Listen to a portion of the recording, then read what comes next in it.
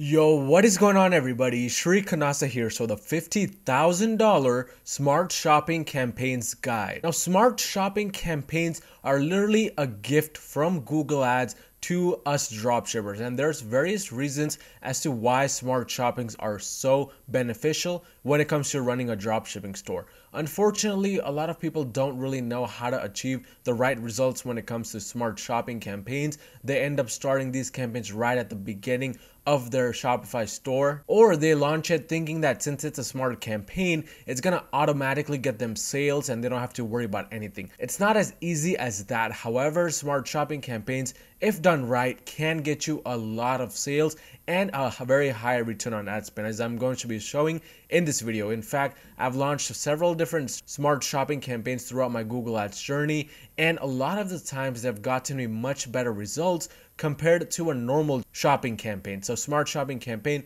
if you haven't already started using them, is something that you may want to start looking into. But without wasting any more time, let's just find out exactly how smart shopping campaigns changed the way I did e-commerce and got me roughly $50,000 in sales. The first thing you'll have to do in order to find success with these smart shopping campaigns is to destroy that like button until it turns blue. I promise it'll take just two quick seconds. Okay, hopefully I've done that. But let's start off by talking about the perfect setup for a smart shopping campaign. Now, before actually even going into the perfect setup, I want to go over to my Google Ads account and show you guys the smart shopping campaigns which I've launched in the past for this ad account. So as you guys can see, I've spent roughly $200,000 within a year in this ad account and it has generated me roughly $1 million. Of course, not all of the sales were measured here.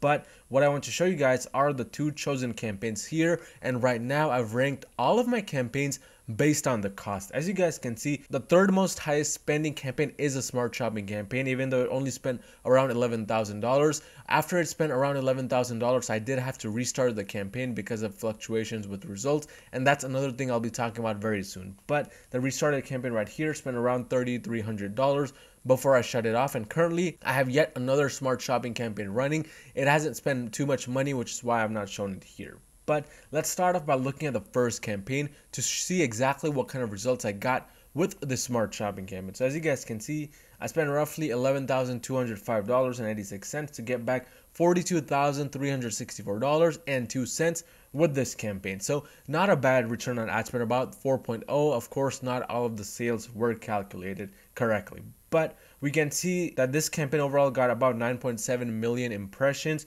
with 60,000 clicks and the CTR was average it wasn't that great or about 0.63 so that's another thing a lot of people really have a misconception about they believe that if they don't have a CTR above 1% all the time the campaign is not going to perform positively and that is far from the truth. As you guys already see right here with a 0.63% CTR we were able to generate roughly 4.0 in return on ad spend. And my top campaign right here, which is not a smart shopping campaign, by the way, it's a general testing campaign, but with a 0.89% return on ad spend, we were roughly able to get 4.66 ROAS and spent 83,000 to make back 390,000, basically $400,000. But the main focus of this video is going to be this smart shopping campaign. Exactly how can you achieve such results with smart shopping campaigns? You will have to understand what the perfect setup is for a smart shopping campaign. So when it comes to setting up a smart shopping campaign, there's really not much you have to do. There's only a few settings you have to change. And when it comes to these settings, here's the following that I recommend. The first thing is nowadays in 2021 and onwards, a minimum budget of $30 per day or more is required and that campaign needs to run for a minimum of 7 days before you make any kind of judgment regarding that campaign. So within the first 7 days, it may not get you any sales and that's completely fine because a smart shopping campaign is exactly what it's called. It's very smart, but in order for the smartness to be activated, it needs time to really get it going and get the algorithm really knowing what people to show your products to. So that is why it requires about seven days in the beginning. After seven days have passed, you should expect some kind of results. If you're getting still zero results, that means there are some kind of problems with the products you've added. The products may not be a good choice for that campaign. But $30 minimum daily budget is a must. In addition, when it comes to choosing the return on ad spend percentage, here's what I recommend.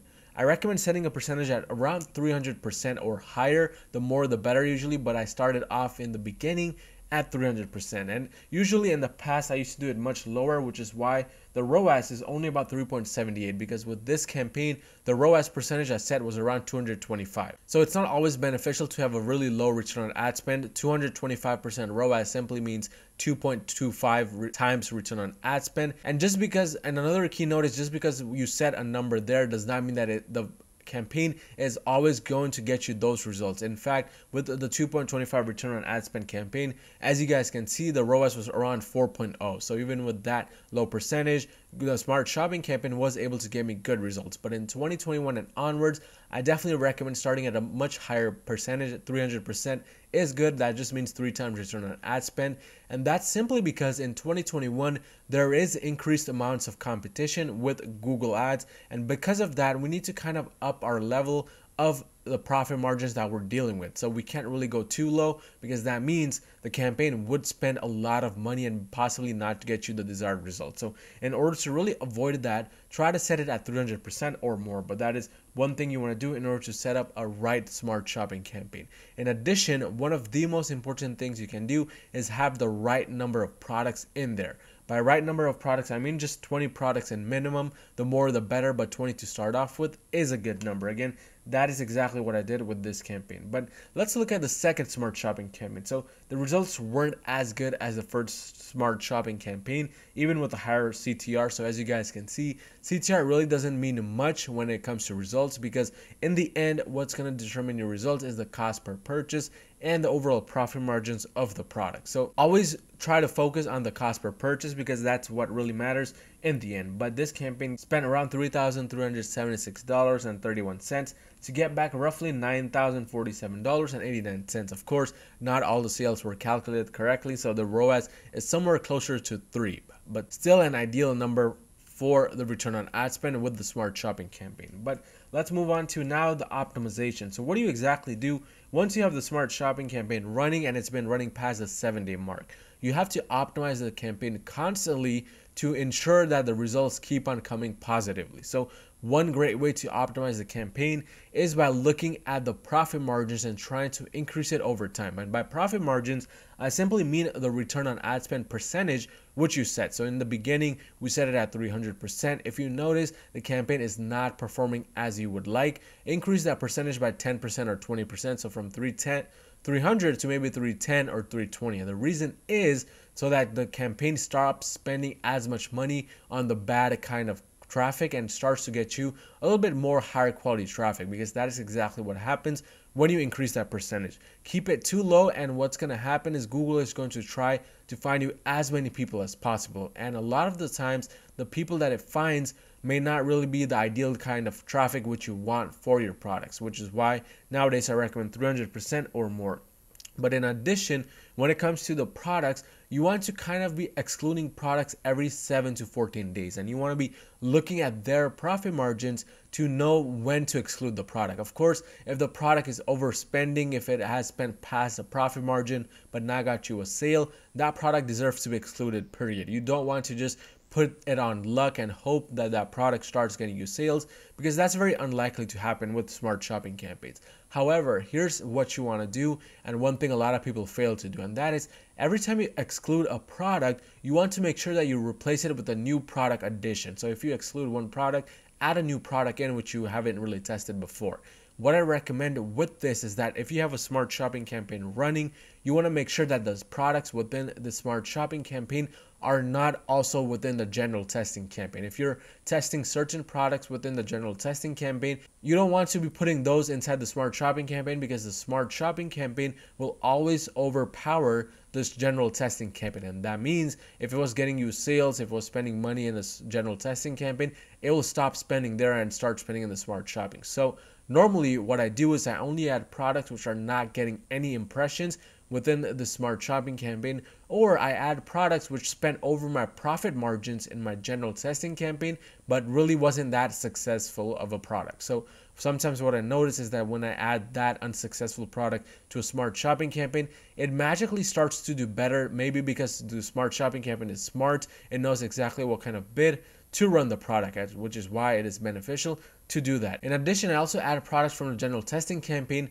which have spent very little money or certain seasonal types of products which I need to test right away because if it's a seasonal product and the season is in the trend right now meaning the trend is going upwards for that product right now it needs to be tested quickly and that means the smart shopping campaign will be perfect for this because as a smart shopping campaign it knows which products have the trending searches and it's going to try to show you and your products to those mostly. So that is where really a smart shopping campaign shines the most. But in addition to that, make sure to always be adding new products every seven days or so. With a smart shopping campaign, if you just let the products die out, sooner or later the entire campaign is also going to start to wither. And that's exactly what happened with my campaign right here, the second one at least, because I was not really paying much attention to it. I just let the products that were already in there run. And what happened was over time, those products started to die out, started to become unprofitable, and the overall campaign's ROAS began to plummet. And that is exactly when I went in and I stopped the campaign to then restart it. Another thing with smart shopping campaigns is if you notice the ROAS start to decline over a period of time, so maybe after 7 days, 14 days, etc., it is best to just restart that campaign to let it kind of re-optimize and restart from the beginning. But now that we've covered these two campaigns, let's look at the current running campaign, which is the smart shopping campaign. So we're going to change all of this now to just look at that all enabled campaigns. So let's do just that all enabled. And if we scroll down just a bit, we can see that it is this one right here. So, so far it has spent $549 as you guys can see. I just recently restarted it within the past few weeks simply because the one previous to this was not performing as well. So far it has got me 16 sales at $34 per purchase and the ROAS is 3.63 so total sale amount of roughly $2,000 for $549 ad spend so not bad at all definitely a good number and as time goes on as it gets more data this number is bound to increase. And that's another beauty about smart shopping campaigns. The more you let it optimize the more you let it run the smarter it gets. So that's why I recommend making changes only every 7 days ideally every 14 days. But that is exactly how you run these profitable smart shopping campaigns. And uh, a quick look into my own $50,000 smart shopping campaigns because all of these combined have generated over $50,000. If you found any type of value in this video, smash that like button and smash that subscribe button and I'll see you guys next time.